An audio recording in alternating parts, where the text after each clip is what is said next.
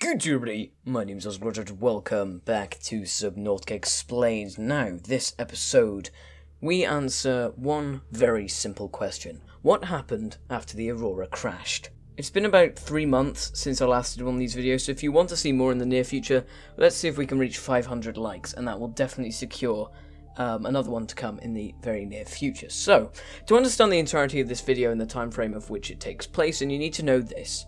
As the player falls to the planet 4546b in his life pod, a sheet of metal is torn off the wall due to the huge amounts of turbulence affecting the life pod as it plummets through the atmosphere. This sheet of metal bounces around the life pod for a few brief seconds before slamming into the face of the player at full speed. This knocks you out, leaving you unconscious for three hours.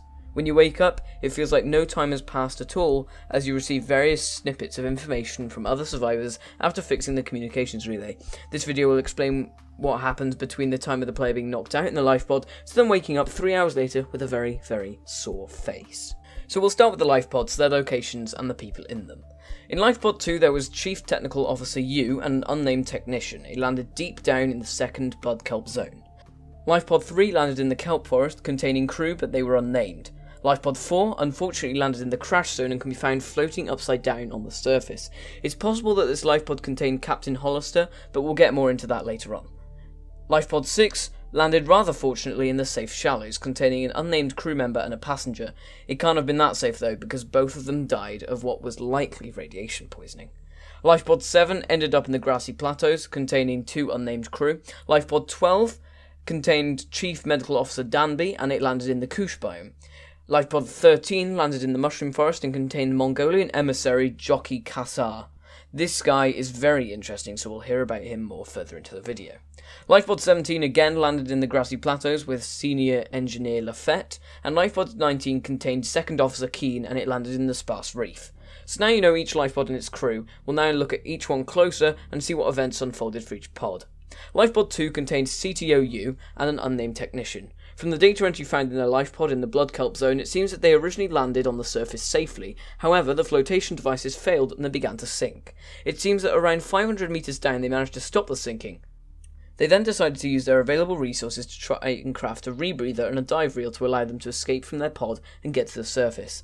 It's possible that CTO Yu attempted to make it to the floating island after receiving Keen's broadcast, but we are unsure whether they made it or not.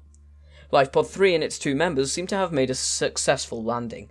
They pick up on the fact that their communications relay was offline, meaning they couldn't find a rendezvous signal so they could regroup the rest of the survivors. So instead, they decide to look for materials nearby to create a permanent habitat in order to survive for the possible years to come before rescue. It seems that due to the fact that no base seems to have been built, we can assume that they both died while scavenging for materials, perhaps killed by a stalker. Lifepod 4 is an interesting one. The game contradicts itself here, so the writing may need editing, but from what we can tell at the moment, Captain Hollister was likely in Lifepod 4. We think this because there's a PDA in there containing a passcode, possibly for his captain's quarters. However, the signal for the lifepod received by the player's communications relay describes how the lifepod made splashdown intact, but there are no life signs inside it and no crew members have disembarked. Is this simply a writing error or is it something different? Perhaps Hollister is dead inside the life pod, perhaps he was never in it. At the moment, we cannot say for certain either way, and it is also possible that Hollister stayed in the Aurora as it went down, as a conversation can be found between Keen and him, where at the end there was a large explosion, presumably on the Aurora, and presumably killing Hollister.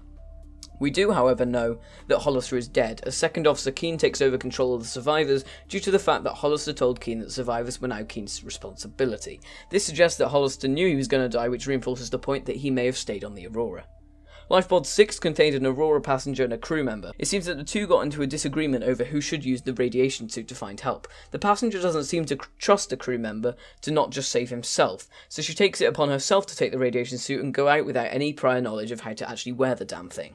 After a short while, the passenger returns, complaining of feeling sick. It turns out she's been contaminated with radiation due to the fact that she forgot to do a zip up on the suit. She then proceeds to die, and then we can assume that the crew member also died later on at some point.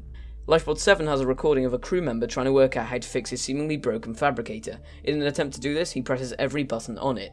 We can assume he never got anything useful out of it, as he likely died shortly after. Lifepod 12 contained Chief Medical Officer Danby, whose last recorded voice message was that he was plummeting towards the planet. A couple of explosions occur, he begins spinning, and then we can assume he died on impact. Lifepod 13 contained Mongolian emissary Jockey Kassar. To get more background knowledge on this guy, you should go and watch my Degasi Explain video in which I talk about this fascinating character in more depth. But from what we can tell, Kassar was religious. The point of his journey on the Aurora was to locate and, if possible, rescue the crew of the Degasi, a small ship which crashed on the planet around 10 years prior to the Aurora. As he plummets towards the planet, he seems to be saying some sort of prayer, and even just before impact of the lifepod on the planet, he was still chanting his prayer like phrases. It's almost certain that he died on impact.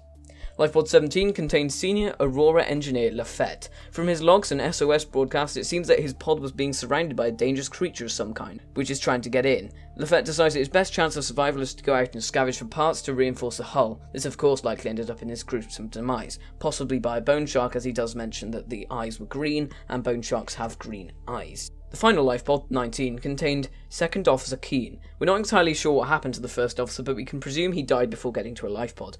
The way that kind of system works is if the captain is unable to take charge, if they're dead or injured, the command goes down the line to the first officer. If the first officer is unable to lead, then it goes to the second officer, which is what happened here. After being told by Hollister to set a ra- rendezvous at the island, he likely made his way there, but we are unsure whether he survived the perilous journey or not. So overall, it seems that everyone died except the player without, within the three hours that we were unconscious for, and then that is where the story of Subnautica begins. So I hope you enjoyed watching the video, and hopefully it let you understand what actually happened a little bit better. So, thank you for watching. Ciao, my friends.